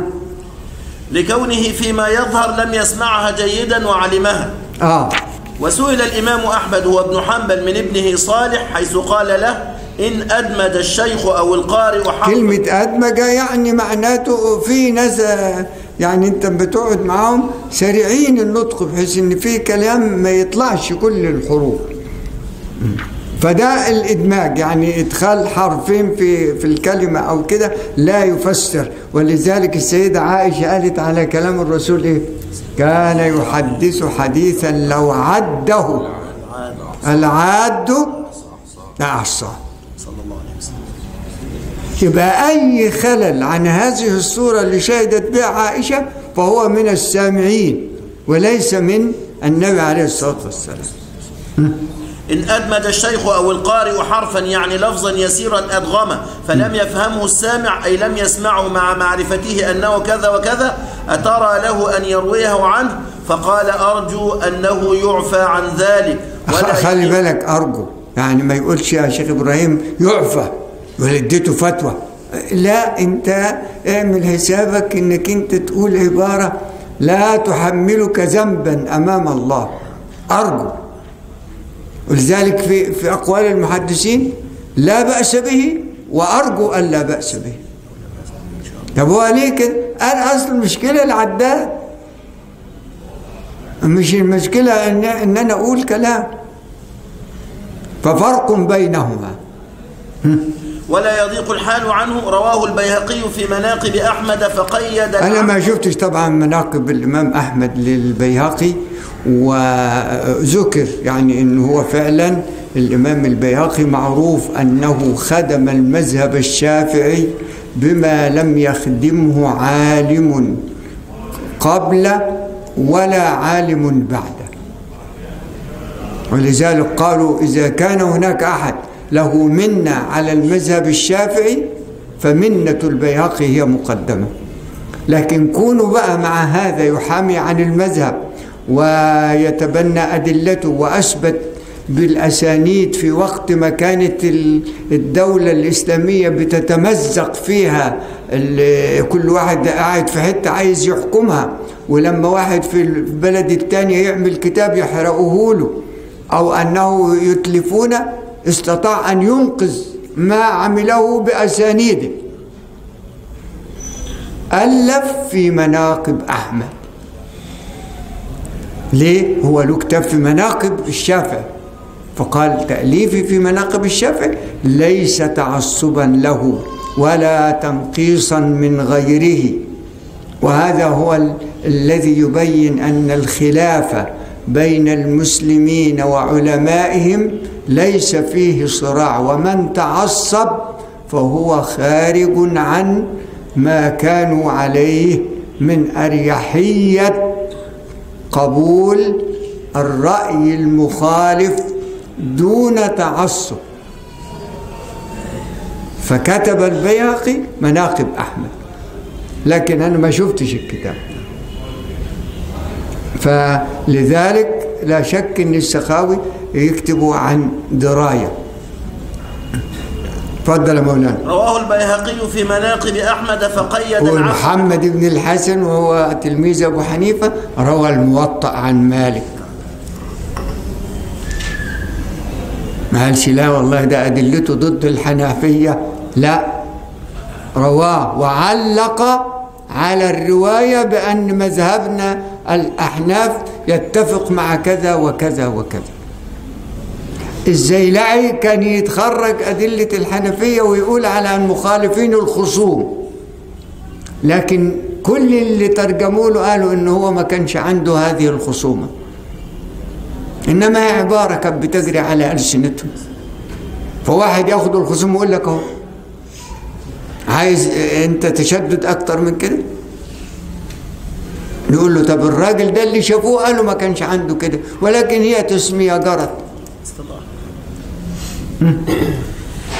فقيد, فقيد العفو بكونه يعرفه. وتمامه قال صالح فقلت له الكتاب قد طال عهده على الإنسان لا يعرف بعض حروفه فيخبره به فيخبره بعض أصحابه. قال إن كان يعلم أنه كما في الكتاب فلا بأس. آه يعني إحنا يهمنا كله إن هو لا يتحمل مسؤولية رواية ما لا يعلمه. إنما الأشياء التي يعفى عنها إيه حتى لمؤاخذة النجاسة فيها قدر بيعفى عنه. وهذه أريحية الشارع. وهي دي اللي المفروض تشكل عقل المسلم. قال البيهقي يعني يوقفه على الصواب فينظر في الكتاب ويعلم أنه كما قال. نعم. لكن الحافظ أبو نعيم الفضل بن دكين منع من سلوكه في أبو الحرب بن فضل بن دكين هو رجل متقدم هو معروف كنيته أبو نعيم لكن مش صاحب الحلية. ده بقى هتشوف أنت التشدد اللي كان بيعمله. منع من سلوكه بس ده تشدد فردي. ما يمثلش القاعدة. ليه؟ قال لكي يكون المذهب الإسلامي متسع لكل أصحاب الإيه؟ التفكيرات. لا يضيق بواحد. أنت متشدد أهلا وسهلا وناخد رأيك على العين والرأس بس ما تلزمناش بيه. أنت متساهل برضه ناخد برأيك على العين والرأس لكن لا تلزمنا به وتمشي المركب. أما واحد يتشدد أو واحد يتساهل نق- نق- نقيم عليه الحرب؟ لا ليس في شريعة الإسلام ولا أنظمته ولا في كتب المصطلح اللي هي إحنا بننطلق منها في تقعيد قواعد الفكر الذي يقوم عليه قبول السنة أو رده أو يقوم عليه ميزان الجرح والتعديل عند المحدثين. لكن الحافظ أبو نعيم الفضل بن دكين منع من سلوكه في الحرف يعني في اللفظ اليسير مما يشرد عنه في حال سماعه. حرف واحد. شوف وصل التشدد. حرف واحد. هيجيب بقية الكلام أهو. مما يشرد عنه في حال سماعه من سفيان والأعمش الذي يستفهمه من بعض الحاضرين من أصحابه. فقال لا يسع من وقع له مثله إلا بأن, إلا بأن أي أن يروي تلك الكلمة الشاردة عن مفهم أفهمه. آه يعني يقول كذا وأفهمني فلان ودي موجودة. اقروا كتب السنة. آه، مش هيجيبها لك اللي هو الحاسب ده اللي أنا اديت له كلمة أفهمني. ما يجيبهاش. لكن اما تقرأ هتلاقي. ونحوه مروي عن زائدة وهو ابن خدامة. قال خلف ابن آه تيمية زائدة هو زائدة ده من رجال التقريب. آه نعم.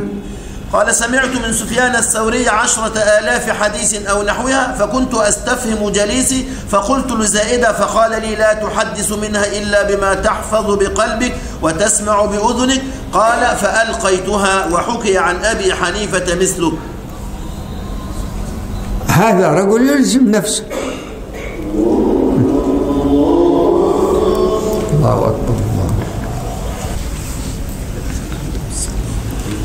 وكل هذا إن لم يفرق. كل هذه التفاصيل كل هذا يعني التفاصيل التي ذكرناها. مما يعفى عنه ومما يحتاط فيه كل الإشارة إلى الأمرين.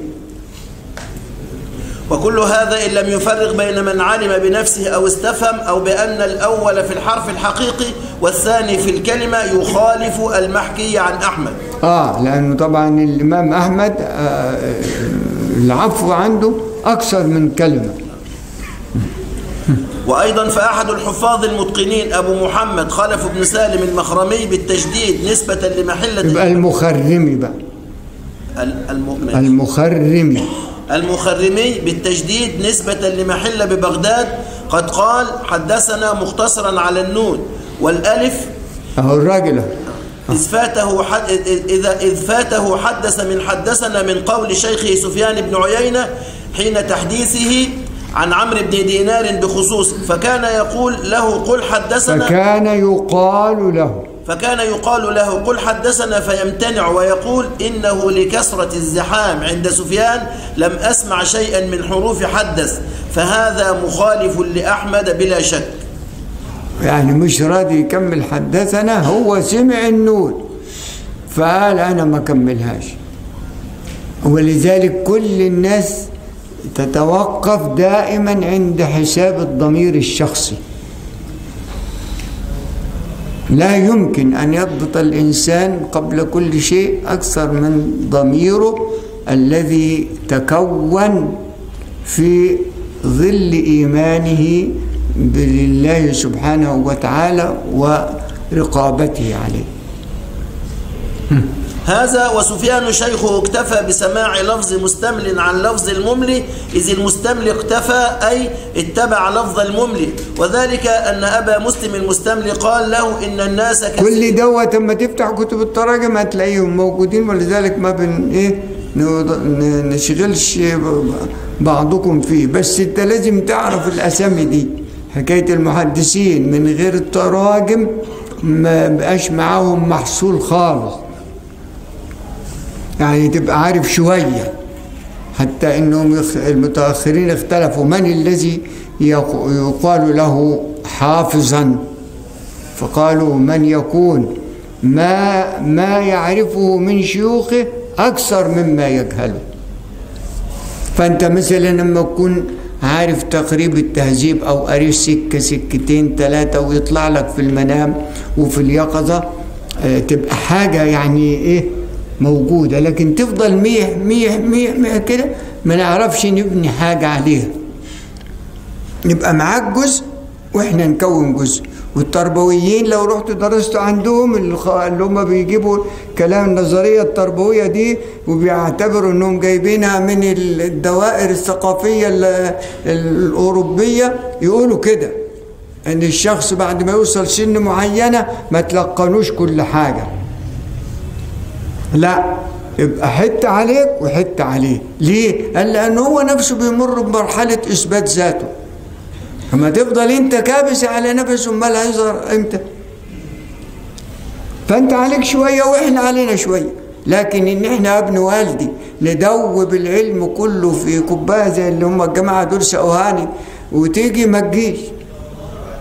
لابد. إن إن الناس كثيرا إن إن الناس كثيرا لا يسمعون فقال أتسمع أنت؟ قال نعم. قال فأسمعهم ولعل سماع خلف لم يكن في الإملاء. أيوه. كذا أبو إسماعيل حماد بن زيد أفتى من استفهمه في حال إملائه. كل دي قضايا أو إفتاءات فردية بالتجويز لحالة معينة سئل عنها. وكلامنا إحنا في القاعدة العامة. فانت لما تيجي تسأل تجيب بالقاعدة العامة. أما إذا كان مشكلة حصلت وسيترتب عليها مسألة التسامح ماشي. واحد هتحل مشكلته بخصوصه ما فيش بأس. لكن أن تجعل ال- ال- ال- الف- الفرع أصلا لا. واستعاده بعض الألفاظ وقال له كيف قلت؟ فقال استفهم الذي يليك آه. مع- معنى استفهم الذي يليك ويبقى السماع على مين؟ على على الأصل. بس بقى مش تقعد أنت تستفهمه في كل حاجة. إحنا في الدرس واحد يتكلم حريص ان هو يحكي لزميله ده حصل كذا وضربنا بعض يا أخي سيب الراجل يسمع كلمة وهو بقى طبعا زميله باستمرار اللي هو يدرس منكم ال- ال- الطالب يسمع كلام زميله أكتر من شيخه. ده حكمة. فإن إحنا عايزين نقول حاجة هو لا سامع يشوف سندوتشات قرب والشيطان هو يشجعه على كده. ليه؟ عشان يخسر. وهذا هو الذي عليه العمل بين أكابر المحدثين. أيوه العمل العمل بيدل على أنه شيء ليس مستنكر. الذين كان يعظم الجمع في مجالسهم جدا ويجتمع فيها الفئام من الفئام اللي هو جماعات الناس. بحيث يبلغ عددهم ألوفا مؤلفة كان آه. طب كانوا بيعرفوا الألوف دول زي ده؟ قال لك كانوا بيعملوها حساب إن المتر المربع يبقى فيها أربعة. فهم يملوا ال- المبروكه اللي أنتم مشرفينا فيها دي كده وبعد ما تمشوا يقيسوا الحكاية دي فيقول لك اللي كانوا قاعدين دول تقريبا 300 لكن ما يقدروش بقى اللي هم ألف ي- ي- يعدهم بالنفر لا. كانت هذه طريقة عدد الذين يكسروا المجلس إن هم يعتبروا إن الأربعة يبقوا في متر مربع. وكان يقيسوا بالخطوة ما كانش فيه متر ساعتها. لا كان كله على البني آدم الدراع عشان يبقى صناعة محلية وكذلك الخطوة قدم آه، آه، وكده كله كان قياس كده. تبقى أنت نفسك تعتبر إنك أنت موسوعة متحركة. دلوقتي تدوس بالزرار آه، يجيب لك الحاجة بحيث تجيب له واحد عربية يقول لك ما فيش حتة عالية نركب من عليها. يعني مش عايز حتى يشيل رجله آه، يجيب لك. ويصعد المستملون على الأماكن المرتفعة. خلاص. وهذا هو الذي عليه العمل بين أكابر المحدثين الذين كان يعظم الجمع في مجالسهم جدا ويجتمع فيها الفئام من الناس بحيث يبلغ عددهم ألوفا مؤلفة ويصعد المستملون على الأماكن المرتفعة ده كان على كلام اللي كان حاصل في وقت ما كان الشيخ السخاوي يكتب هذا. كون الصورة الآن تغيرت بيبقى معنا أصل القضية.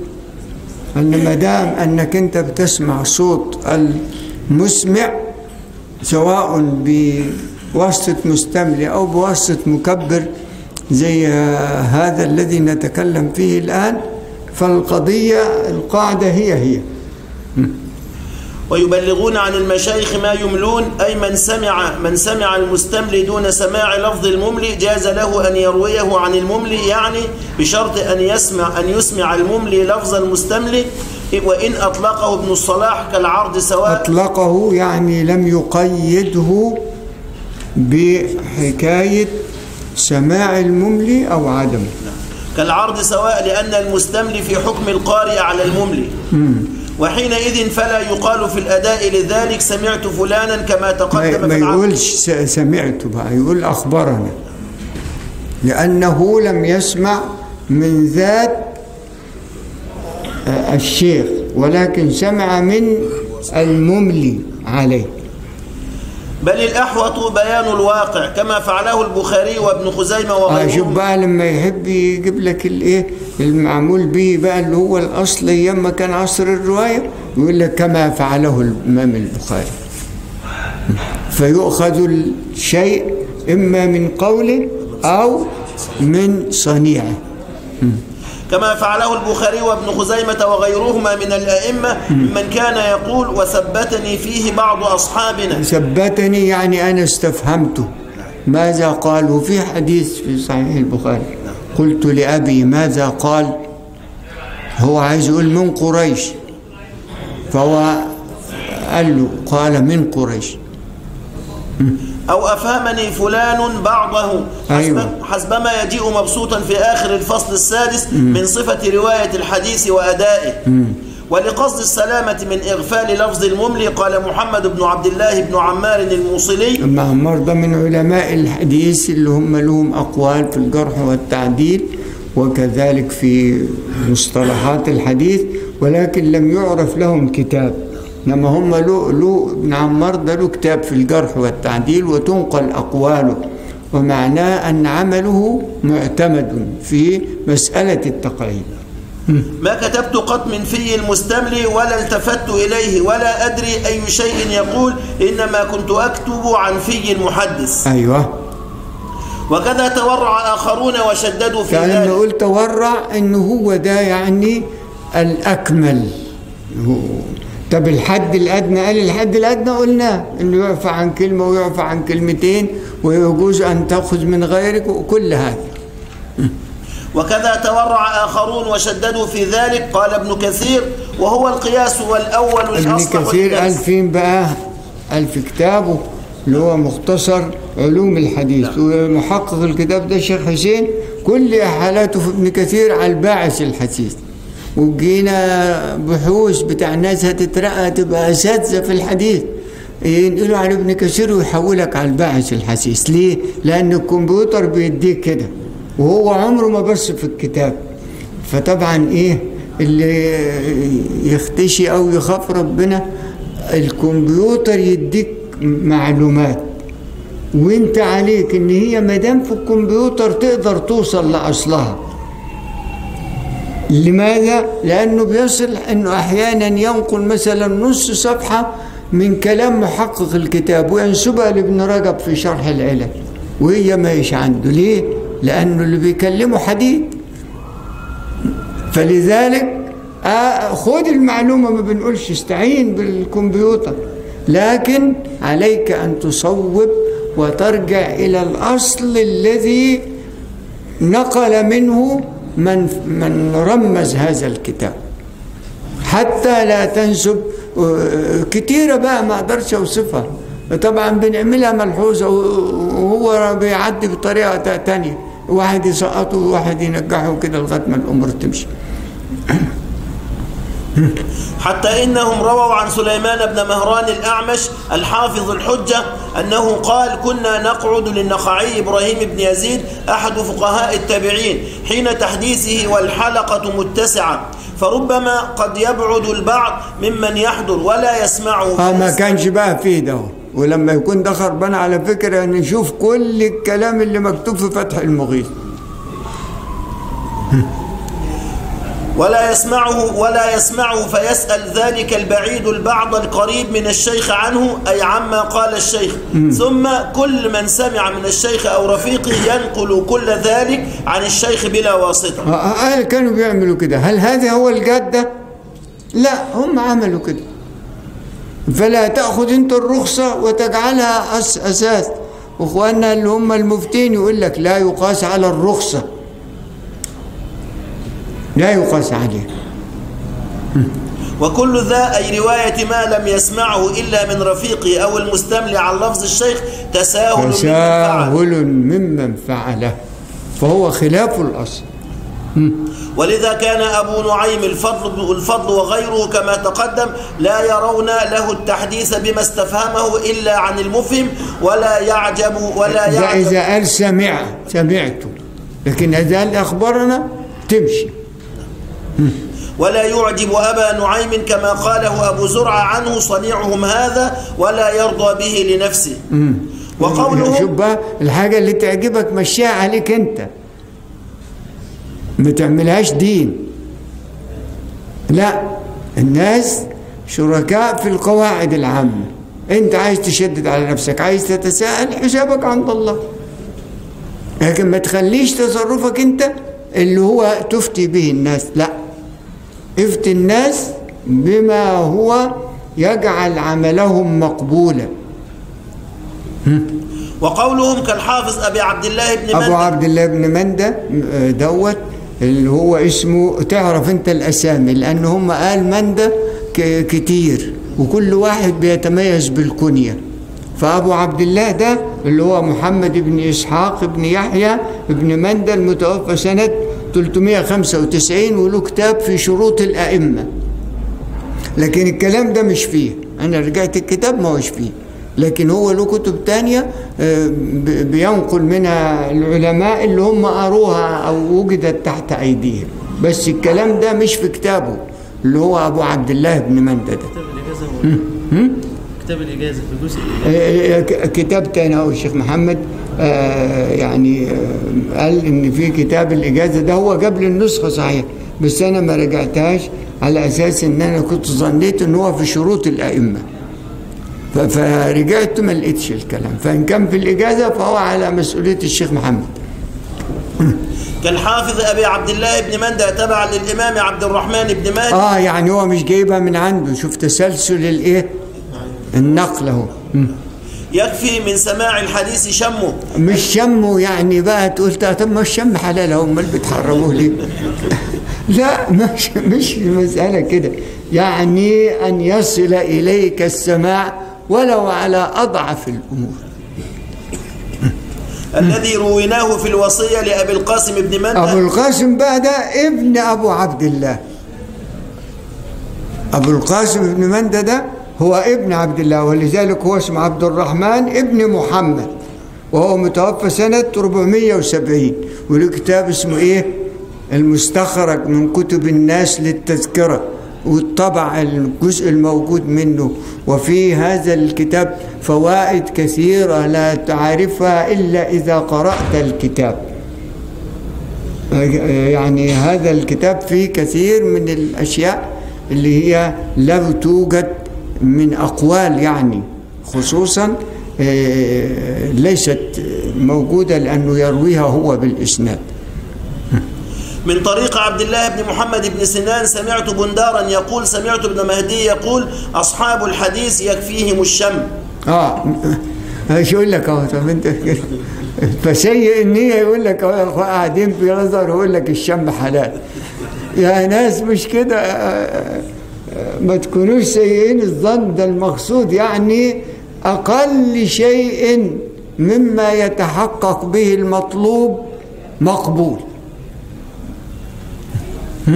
فهم أي القائلون ذلك كما قال حمزة بن محمد الكناني الحافظ حسبما نقله عبد الغني بن سعيد الحافظ عنه إنما عنوا به إذ أول شيء أي طرف حديث سئل عنه المحدث ادي معنى الشم إنه هو ما كانش لما تقرأ أنت علل الرازي تلاقي كده إنه ما يكملش متن الحديث.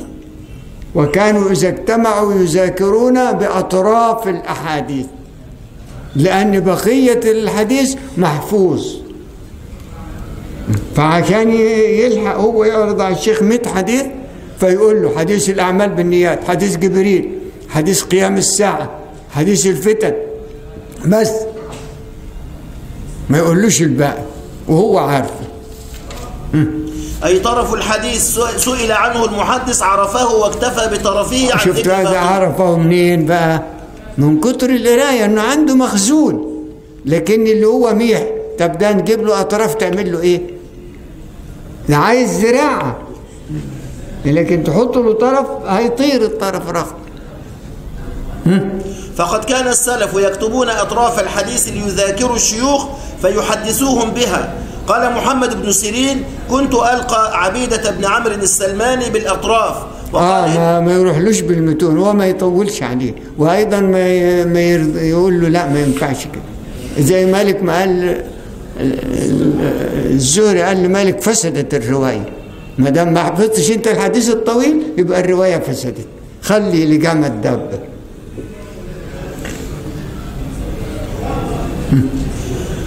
كنت ألقى عبيدة بن عمرو السلماني بالأطراف وقال إبراهيم النخعي لا بأس بكتابة الأطراف. آه يعني يقول له هل كتابة الأطراف لمذاكرتها تغني عن بقية الحديث؟ قال لا بأس.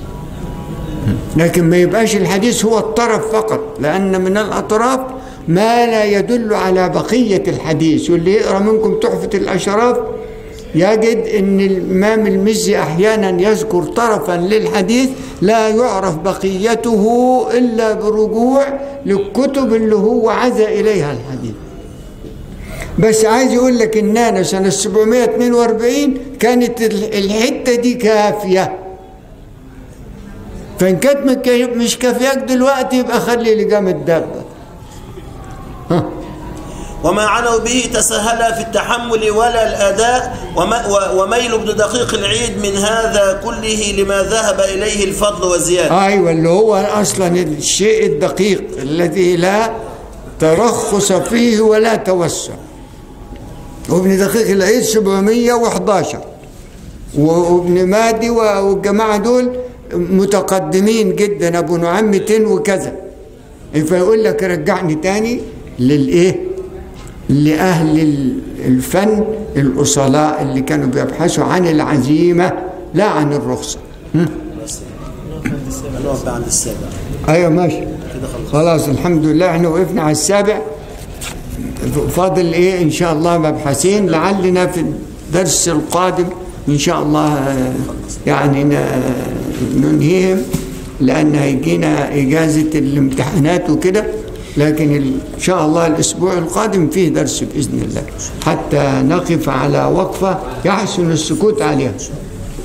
تفضل مولانا الشيخ سعيد. هذا سائل يقول هل تعليقات ابن الصلاح مطبوعة مع محاسن الصلاح بتحقيق آه؟ والله تصدق والله مطبوعة.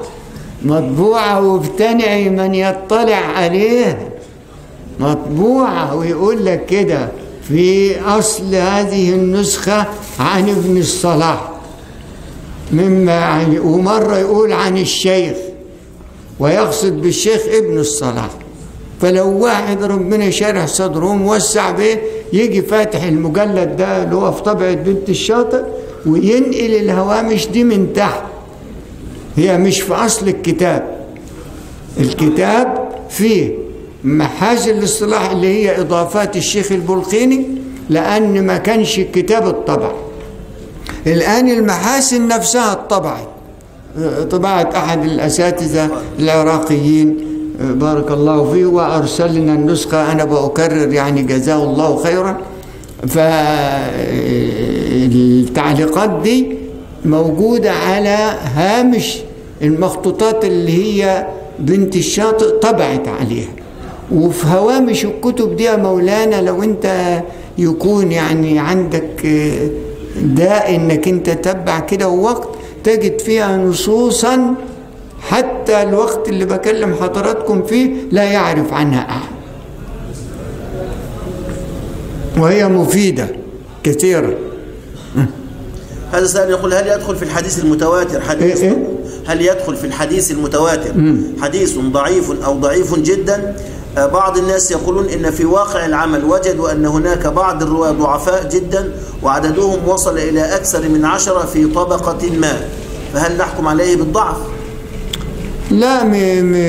حكاية التواتر الأصل فيها هو الثقة تقول إيه طب ما كل كتب الأصول يقولوا لا المتواتر ما يحتاجش إلى كذا هذه المقولة إحنا درسنا قبل كده هنا وقلنا الذي قال إن المتواتر لا يطلب فيه العدالة هو الخبر العادي زي.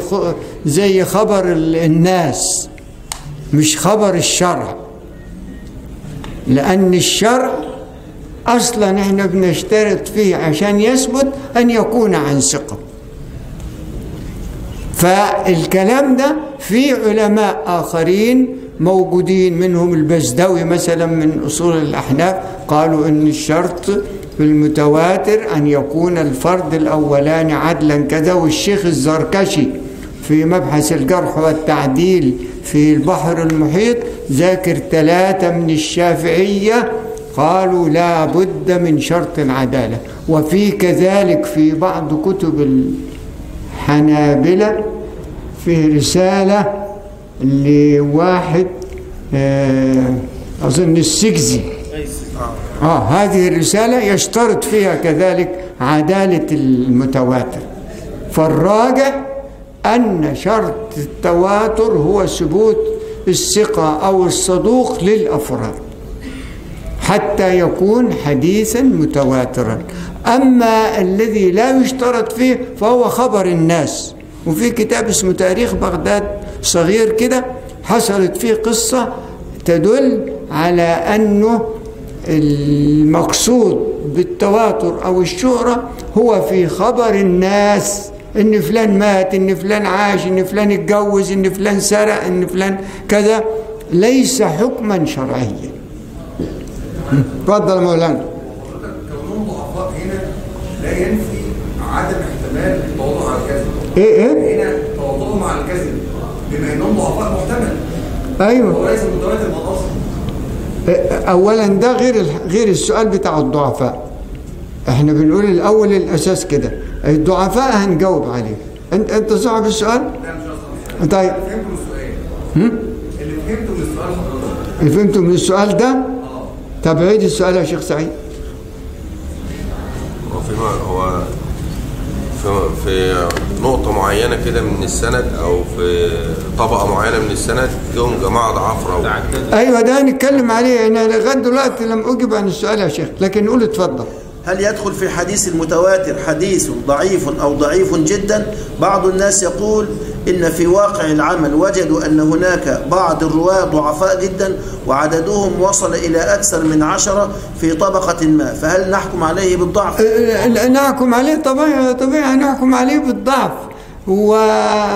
وأنه الضعيف جدا إحنا قلنا في الجلسة دي الضعيف جدا إحنا مشكلتنا هنا الكلام فيه ان بقول لحضراتكم كل اللي احتكيت بيهم من طلبة العلم الأفاضل ليس لديهم تفريقا بين الضعيف جدا وبين الضعيف وبين الموضوع. وأنا عندي رسالة الآن بين يدي صاحبها بيقول فلان الفلاني قال علي بن المديني وضاع والحديث ضعيف جدا. هو اتعلم كده. فلذلك هذا الكلام لابد نأسس الأول أن الضعيف جدا مرتبة والكذاب مرتبة والضعيف فقط الذي ينجبر مرتبة وكلهم لهم ألفاظ وأنا مليهم في المحاضرات القديمة. فالضعيف جدا ينجبر إلى الضعيف بكثرة الطرق. بمعنى إن أقل حدث في الكسرة ثلاثة. طب ينجبر لحد إيه؟ لحد الضعيف بس. طب أمال يبقى إيه؟ قال يبقى مشهور. وليس من شرط الشهرة أن يصح ولا أن يحسن. هو له عشرين طريق ضعيف يبقى مشهور. ولذلك ألفوا كتب مشتهرة على أحاديث على ألسنة الناس ولها طرق كثيرة. فهذا شهرة وليس تواتر. إنما شرط التواتر هو القبول. أقل حاجة أن يكون أفراده من صدوق وانت ماشي إلى أعلى. ده اللي يحصل به التواتر. وهو ده اللي يفيد العلم وتكلموا عليه أهل العلم. خلاص خلصت الأسئلة؟ جزاكم نعم يا شيخ. طب ما تيجي بس تعالى تعالى أول مرة حضرتك طالع معلش ما انت ما بتجيش ولو نعرف عنوانك كنا بعتنا لك الشيخ سيد. الراجل آه ومعاه دكتوراه قد الدنيا يعني. لو حضرتك تنوعوا ما بين الصدوق والثقة ومعاهم ضعفاء فهكذا. العبرة بالمحتج به. يعني إيه؟ اسمع كلام أخوك فندم. إيه إيه اسمع ما أنا هكلم هقول لك أهو. معانا واحد ضعيف. آه. هو واحد ضعيف جدا. الضعيف جدا لما يجي مع الصدوق ما يغيرش النتيجة. العبرة بالصدوق. العبرة بالصدوق. الضعيف الصدوق اللي مع الثقة يرتفع إلى الصحيح لغيره. أيوة. حضرتك أنا بس مش عارف أوصل وجهة نظري ما لا قول إحنا قاعدين. بتكلم في نقطة بس اعتبار كون متواتر أصلا ولا لا؟ فالسؤال حضرتك بصيغته دي لا يعتبر متواتر. أيوه. لأن سيحتمل تواطؤهم على الكذب بما إن كلهم ضعفاء. أيوه. صح كده؟ إنما حضرتك لو فيهم ضعفاء مع صدوق أو ضعفاء مع ثقات هنا حضرتك تواطؤهم على الكذب سيستحيل. فهنا لا مش يستحيل. لا محتمل. لأن الاستحالة صعب. لا. إنما إحنا بنبني على غالب الظن. أيوة. وأنا برضو لما درست هنا قلنا إن حكاية عدم تحديد عدد للمتواتر هي في كل الكتب كتير من الكتب. لكن الشيخ السمعاني في قواطع الأدلة والشيخ السيوطي تابعه إن مش أنتوا بتقولوا الكسرة؟ قال أيوه الكسر قال طيب ما إحنا عندنا في قواعد النحو جموع الكسرة بتبدأ من عشرة بعد العشرة. فليه ما نحددش إحنا بالعشرة بناء على أنها في لغتنا لغة القرآن والحديث بتعتبر العشرة كسرة. وبناء عليه السيوطي أخذ من الشيخ السمعاني في قواطع الأدلة هذا العدد وألف عليه كتاب في المتواتر وبنى عليه بعده الشيخ آه، آه، السيوط آه، ال- الكتاني. الكتاني كذلك له كتاب. زاد على السيوطي وهذه الأعداد خرجت الآن مطبوعة وبيجيبوا أكثر من عشرة من الصحابة. إذا كان في الطريق إلى أحد هؤلاء العشرة رجل ضعيف لا يدخل معنا. اتفضل لا ما ت- أنت تطول من حقك. طالما الدرس قائم أي حاجة ما عدا الفلوس حاضرين. حضرتك بس بالنسبة لصيغه السؤال آه. هل حضرتك أصلا لو في طبقة معينة كلهم ضعفاء آه. هل أصلا يصح أن يطلق عليه متواتر؟ طب ما إحنا قلنا لا. لا لا. ده أنا حبيت أبقى مناسب لا انت لك سن الحب كله. يلا يا عم.